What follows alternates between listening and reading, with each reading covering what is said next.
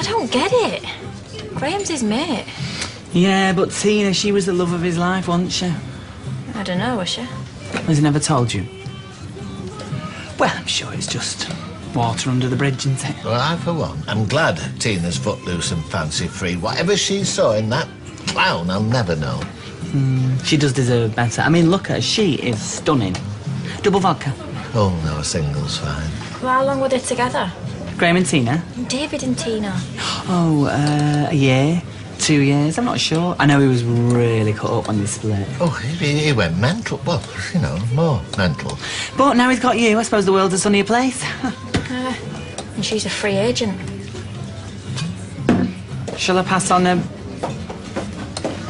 message?